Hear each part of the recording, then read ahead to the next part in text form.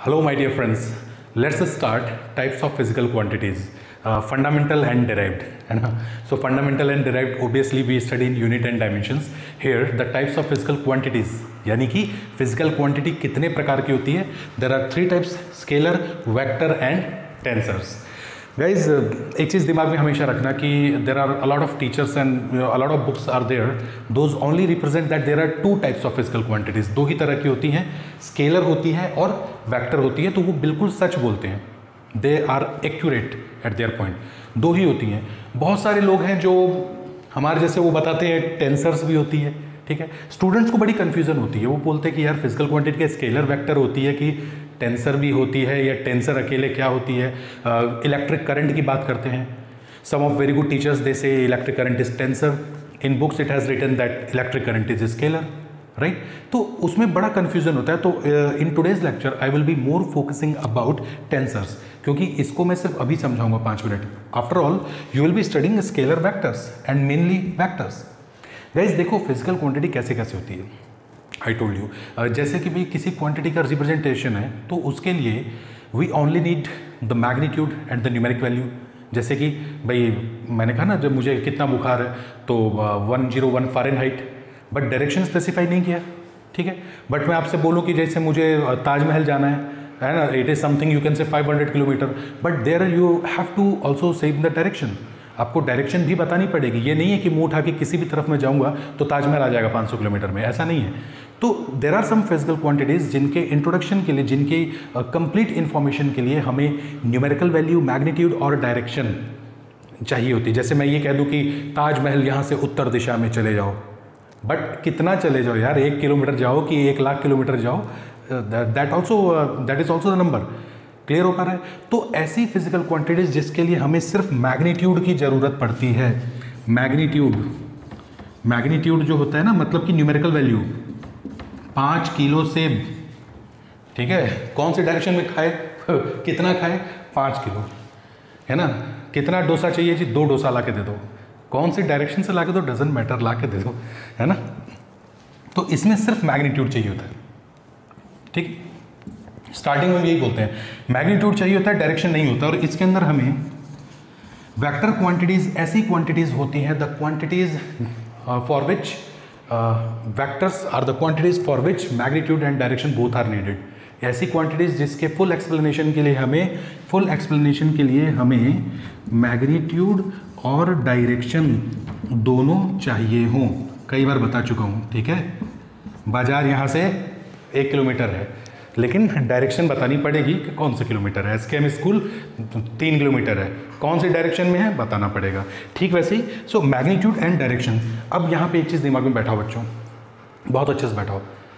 There are lot of physical quantities जिसमें magnitude और direction होने के बावजूद they will be called scalar बहुत सारी फ़िज़िकल क्वांटिटीज है। A lot of physical quantities will be there जिसमें मैग्नीट्यूड भी होगा डायरेक्शन भी होगी but they will be considered as scalars vector नहीं बोला जाएगा, क्योंकि वेक्टर होने के लिए ये दोनों के साथ साथ, ये दोनों के साथ साथ, ये दोनों के साथ साथ यहाँ पे लिख देता हूँ must be following vector law of addition vector law of addition जो है, वो फॉलो करना पड़ेगा। एडिशन देख लेना यार, ये डबल डी कर देना।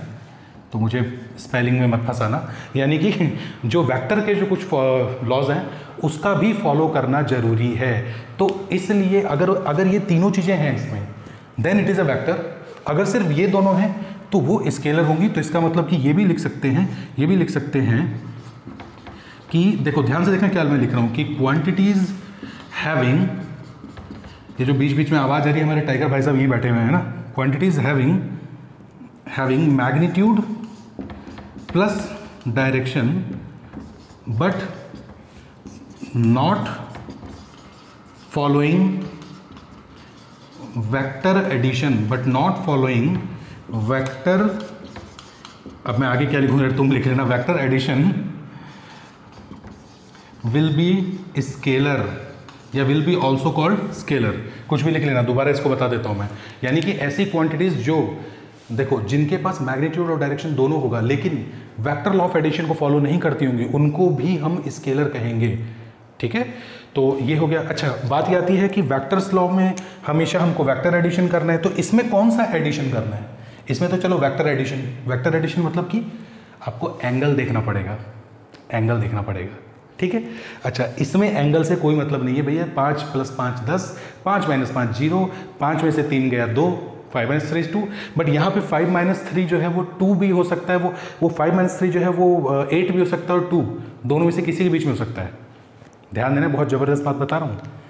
फाइव प्लस टू सेवन इसमें अगर प्लस है तो फाइव प्लस टू सेवन होगा और फाइव माइनस टू जो है थ्री होगा। राइट इसमें जो है ना, अगर मैं आपसे कह दूँ मतलब प्लस और माइनस दोनों को कंसिडर करके, कि फाइव और टू है तो फाइव और टू सेवन भी हो सकता है और फाइव में से टू थ्री भी हो सकता है और थ्री और सेवन के बीच में कुछ भी हो सकता है। थ्री और सेवन के बीच में कुछ भी हो सकता है, लेकिन इसमें सिर्फ़ थ्री या सेवन हो सकता है। ये फ़र्क है, इसको बहुत अच्छे से समझना बात को। है ना, दो वैक्टर क्वांटिटीज़ हैं, एक है आपके पास फाइव दूसरी है फाइव तो five minus five zero five plus five ten तो ये ज़ीरो से टेन के बीच में कुछ भी हो सकता है। One two three four five six seven eight nine सब। लेकिन ये या तो ज़ीरो होगा या टेन होगा। क्लियर अभी आप बोलोगे कि, सर, ये टेंसर्स के बारे में आपने बात कही थी, लेकिन टेंसर तो आपने पढ़ाया नहीं। बच्चों, एक चीज़ समझो यार। बहुत बार बच्चों को गलत फहमी थी टेंसर्स क्या होता है? देखो टेंसर्स आपको स्कूल टीचर्स जो पढ़ाते हैं मतलब बिल्कुल सही बात बताते हैं, कोई गलत नहीं उसमें। वो क्या बताएँगे कि द क्वांटिटीज़ या मैं ऐसे लिख देता हूँ इसको the quantities which have different magnitude in different direction. The quantities which have different magnitude in different direction बच्चों, मैं बोल दूँ तो जल्दी लिख लेना यार। बोर्ड पे क्या एक तो ऑलरेडी जगह है, फिर मैं इसको साफ़ करूँगा, लिखूँगा, है ना? और इंक पता नहीं कहाँ गायब हो गई है तो सुनो। The quantities which have different magnitude in different direction मतलब कि ये जो है, इसको मैं इधर कर दूँ तो दो मीटर का दिखाई दे। आपकी तरफ़ करूँ तो अचानक चार मीटर का हो जाए। इधर करूँ तो एक मीटर हो जाए, उधर करूँ तो पाँच मीटर। अलग अलग डायरेक्शन में अलग अलग मैग्नीट्यूड मैग्नीट्यूड का मतलब कि एक, दो, तीन, चार, पाँच। कितनी लंबाई है लेंथ कितनी है। समझे? तो इसमें जैसे हम बात करते हैं, इसमें हम बात करते हैं स्ट्रेस इसमें हम बात कर रहे हैं स्ट्रेस स्ट्रेस होता है रीस्टोरिंग फोर्स अपॉन एरिया बच्चों डिटेल में बताऊँगा, इसके लिए आप निश्चिंत हो रीस्टोरिंग फोर्स अपॉन एरिया अब अगर आप उसको किसी बॉडी को ऐसे दबा रहे हो, ध्यान देना स्ट्रेस और प्रेशर अलग अलग है। प्रेशर हमेशा परपेंडिकुलर फोर्स अपॉन एरिया होता है। प्रेशर जो होता है, वो परपेंडिकुलर फोर्स होता है। स्ट्रेस रीस्टोरिंग फोर्स होता है। आप बॉडी किसी किताब को ऊपर से दबा रहे हो तो उसमें अंदर एक फोर्स निकल रहा है जो अपोजिट उसका अपोज कर रहा है। लेकिन यूँ दबाने की बजाय किसी किताब का शेप मतलब यूँ दबा रहे हो, यूँ धक्का दे रहे हो शेप बिगाड़ने की कोशिश कर रहे हो तो उस उस फोर्स के अगेंस्ट भी एक और फोर्स निकलता है तो टेंजेंशियल स्ट्रेस बोलते हैं लॉन्गिट्यूडनल क्या कहते हैं स्ट्रेस बोलते हैं नॉर्मल स्ट्रेस बोलते हैं हम लोग। तो अलग अलग स्ट्रेस यानी कि अलग अलग डायरेक्शन में अलग अलग वैल्यूज़ की निकल रही है राइट बच्चों टेंसर जो है, एक बात दिमाग में हमेशा ध्यान रखो कि ये जो है ना, ये ये सब कुछ टेंसर है।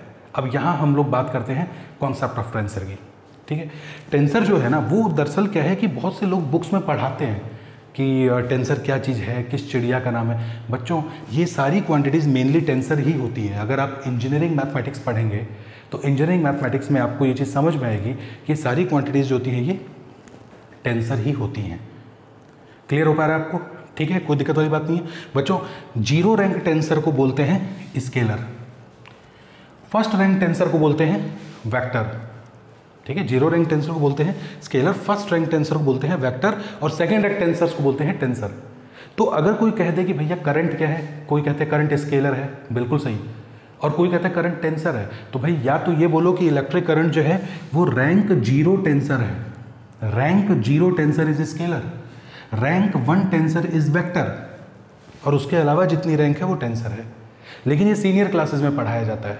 ठीक है? तो अभी के लिए सिर्फ़ स्केलर और वेक्टर ध्यान रखो। ठीक है? टेंसर्स में ज़्यादा उलझने की ज़रूरत नहीं है, बस डेफिनेशन समझ लो। तो जब आप इंजीनियरिंग मैथमेटिक्स में जाओगे then you will be knowing about it is a kind of matrix ये एक मैट्रिक्स होती है, जिसका रैंक ज़ीरो कर दो तो स्केलर आता है। रैंक वन कर दो तो वेक्टर आता है। अब देखो रैंक क्या है, कौन सी चीज़ क्या है? ये इंजीनियरिंग मैथमेटिक्स का टॉपिक है तो हायर क्लास में जाता है तो हम यहाँ डिस्कस नहीं करेंगे। ठीक है? तो टेंसर में इतना उलझने की या टेंशन लेने की ज़रूरत नहीं है कि कौन सी क्वांटिटी टेंसर है। कोई सर कहते हैं कि वेक्टर है स्केलर है, कोई सर कहते हैं कि टेंसर है। अरे स्केलर खुद रैंक ज़ीरो टेंसर होता है। तो बेसिकली सही मायने में बात करूँ तो मेरे को इसको मिटा के लिख देना चाहिए tensor rank zero tensor is scalar समझ रहे? Rank one tensor is vector rank two tensor is tensor ठीक है? टेंशन मतलब टेंसर्स को बढ़ो. मोमेंट ऑफ़ इनर्शिया वो भी टेंसर है. अलग अलग डायरेक्शन में अलग अलग मैग्नीट्यूड आई होप मैंने इसको क्लियर कर दिया बच्चों. मैं अगले वाले क्लास में, अभी तो मैंने इसको डिस्कशन करने में टाइम दे दिया है. नेक्स्ट क्लास में मैं आपको वापस से स्केलर और वेक्टर ही बताने वाला हूँ, कायदे से.